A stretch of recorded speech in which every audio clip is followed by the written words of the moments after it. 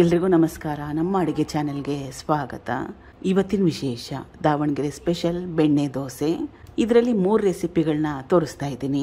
ದೋಸೆ ಹಿಟ್ಟು, ಆಲೂಗಡ್ಡೆ ಪಲ್ಯ ಮತ್ತು ಚಟ್ನಿ ರೆಸಿಪಿ. ಇದೇ ದೋಸೆ ಹಿಟ್ಟನ್ನ ಉಪಯೋಗ ಮಾಡಿ ಬೆಣ್ಣೆ ದೋಸೆ ಅಲ್ಲದೆ ರೆಗ್ಯುಲರ್ ಆಗಿ ಮಸಾಲೆ ದೋಸೆ ಮಾಡ್ತೀವಲ್ಲ, ಅದನ್ನು ಕೂಡ ಮಾಡ್ಕೋಬೋದು. ಈ ರೀತಿಯಾಗಿ ಒಮ್ಮೆ ಪ್ರಯತ್ನ ಮಾಡಿ ನೋಡಿ, ಸೇಮ್ ಟೇಸ್ಟ್ ಬರುತ್ತೆ. ಖಂಡಿತವಾಗ್ಲೂ ಎಲ್ಲರಿಗೂ ಇಷ್ಟ ಆಗುತ್ತೆ. ಮೊದಲನೇ ರೆಸಿಪಿ ದೋಸೆ ಹಿಟ್ಟು. ದೊಡ್ಡದಾಗಿರೋದು. ಬಟ್ಲೆ ತೊಗೊಂಡಿದ್ದೀನಿ.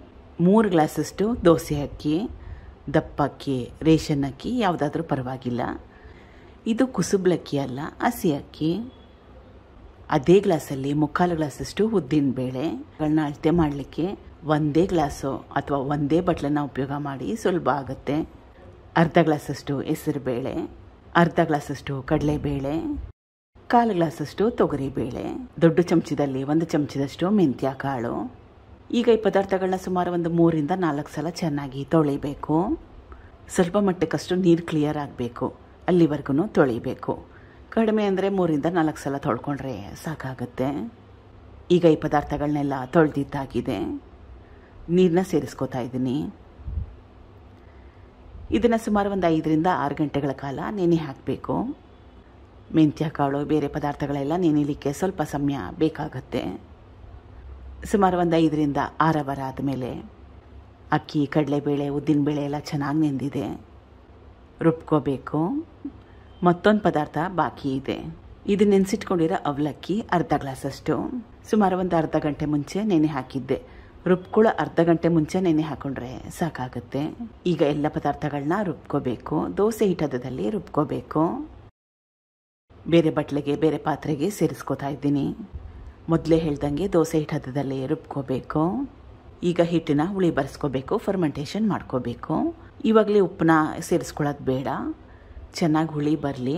ಆಮೇಲೆ ಎಷ್ಟು ಅವಶ್ಯಕತೆ ಇದೆ, ಅಷ್ಟು ಹಿಟ್ಟನ್ನ ತೊಗೊಂಡು ಅದಕ್ಕಷ್ಟೇ ಉಪ್ಪನ್ನ ಸೇರಿಸ್ಕೊಂಡ್ರೆ ಸಾಕಾಗುತ್ತೆ. ಮಳೆಗಾಲ, ಚಳಿಗಾಲ ಇದ್ರೆ ಹಿಟ್ಟು, ಹುಳಿ ಬರಲಿಕ್ಕೆ ಸ್ವಲ್ಪ ಸಮಯ ಬೇಕಾಗುತ್ತೆ. ಬಿಸಿಲುಗಾಲ ಇದ್ರೆ ಸುಮಾರು ಒಂದು ಎಂಟರಿಂದ ಹತ್ತು ಗಂಟೆಗಳಲ್ಲಿ ಚೆನ್ನಾಗಿ ಹಿಟ್ಟು, ಹುಳಿ ಬಂದ್ಬಿಡತ್ತೆ. ಈಗ ದೋಸೆ ಹಿಟ್ಟು ಚೆನ್ನಾಗಿ ಹುಳಿ ಬಂದಿದೆ. ಇವಾಗ ಎಷ್ಟು ಅವಶ್ಯಕತೆ ಇದೆ? ಅಷ್ಟು ಹಿಟ್ಟಿನಷ್ಟೇ ಉಪಯೋಗ ಮಾಡ್ತಾ ಇದ್ದೀನಿ. ಸುಮಾರು ಒಂದು ಐದರಿಂದ ಆರು ದೋಸೆ ಆಗಷ್ಟು.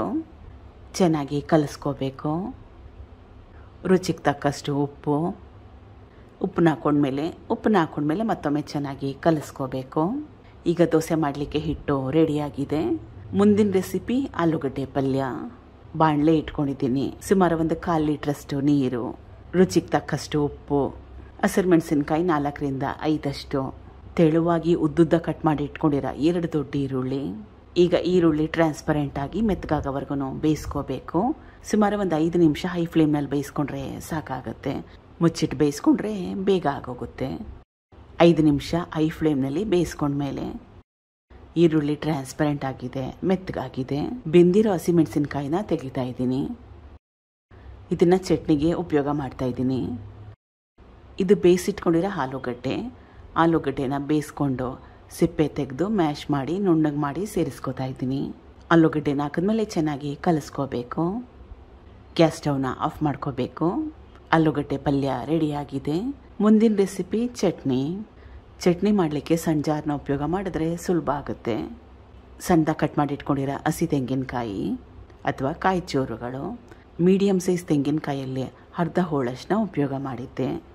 ಇದು ಬೇಯಿಸಿಟ್ಕೊಂಡಿರೋ ಹಸಿರು ಮೆಣಸಿನ್ಕಾಯಿ, ಈರುಳ್ಳಿ ಜೊತೆ ಬೇಯಿಸ್ಕೊಂಡಿದ್ನಲ್ಲ, ಅದು.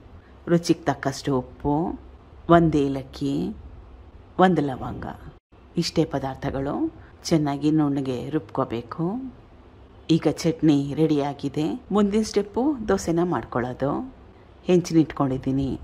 ಸ್ವಲ್ಪ ಎಣ್ಣೆನ ಸವರ್ಕೋಬೇಕು, ಹಚ್ಕೋಬೇಕು. ಹೆಂಚಿನ ಚೆನ್ನಾಗಿ ಕಾಯಿಸ್ಕೋಬೇಕು. ದೋಸೆನ ಹಾಕ್ಕೊಳ್ಳೋವಾಗ ಮೀಡಿಯಂ ಫ್ಲೇಮ್ ಅಥವಾ ಲೋ ಫ್ಲೇಮ್ನಲ್ಲಿ ಇಟ್ಕೊಳ್ಳಿ. ಫ್ಲ್ಯಾಟಾಗಿರೋ ಹೆಂಚಿದ್ರೆ ದೋಸೆನ ಹರಡೋ ಅವಶ್ಯಕತೆ ಇಲ್ಲ. ನನ್ನ ಹೆಂಚು ಸ್ವಲ್ಪ ತಳಭಾಗದಲ್ಲಿ ಆಳ ಸ್ವಲ್ಪ ಜಾಸ್ತಿ ಇದೆ, ಕಾನ್ಕೇವ್ ಹೆಂಚು. ಅದಕ್ಕೋಸ್ಕರವಾಗಿ ಸ್ವಲ್ಪ ಹಗುರವಾಗಿ ಹರಡ್ಕೋತಾ ಇದ್ದೀನಿ.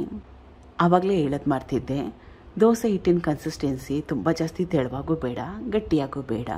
ಸ್ಟಾರ್ಟಿಂಗಲ್ಲಿ ಸ್ವಲ್ಪ ಎಣ್ಣೆ ಹಾಕ್ಕೊಳ್ಳಿ ಎಣ್ಣೆ ಹಾಕೊಂಡ್ಮೇಲೆ ಬೆಣ್ಣೆ ಹಾಕೋಬೇಕು. ಸ್ಟಾರ್ಟಿಂಗಲ್ಲೇ ಬೆಣ್ಣೆ ಹಾಕ್ಕೊಂಡ್ರೆ ಬೆಣ್ಣೆ ಸೀದೋಗುತ್ತೆ ಕೆಂಪಾದಂಗೆ ಆಗೋಗುತ್ತೆ ದೋಸೆ ಹಿಟ್ಟೇನಾದರೂ ತುಂಬ ಜಾಸ್ತಿ ತೆಳುವಾಗೋದ್ರೆ ಸೆಟ್ ದೋಸೆ ಥರ ಬರುತ್ತೆ. ಮಸಾಲೆ ದೋಸೆ ಅಥವಾ ಬೆಣ್ಣೆ ದೋಸೆ ಥರ ಬರೋದಿಲ್ಲ. ಅಥವಾ ತುಂಬಾ ಜಾಸ್ತಿ ಗಟ್ಟಿಯಾಗೂ ಬೇಡ. ಮೀಡಿಯಮ್ ಆಗಿರಲಿ. ಬೆಣ್ಣೆ, ಎಣ್ಣೆ ನಿಮ್ಗೆ ಯಾವ ರೀತಿ ಇಷ್ಟ ಆ ರೀತಿಯಾಗಿ ಉಪಯೋಗ ಮಾಡಿ. ನನಗೆ ಜಾಸ್ತಿ ಉಪಯೋಗ ಮಾಡಲಿಕ್ಕೆ ಇಷ್ಟ ಆಗೋದಿಲ್ಲ. ಅದಕ್ಕೋಸ್ಕರ ಕಡಿಮೆ ಉಪಯೋಗ ಮಾಡಿದ್ದೀನಿ. ಒಂದೇ ಕಡೆ ಚೆನ್ನಾಗಿ ಕೆಂಪಾಗೋವರೆಗೂ ಬೇಯಿಸ್ಕೋಬೇಕು. ಒಳ್ಳೆ ಬಣ್ಣ ಬಂದಿದೆ ನೋಡಿ. ಹೋಟೆಲಲ್ಲಿ ಹೊರಗಡೆ ಸಿಗುತ್ತಲ್ಲ, ಸೇಮ್ ಟೇಸ್ಟ್ ಬರುತ್ತೆ.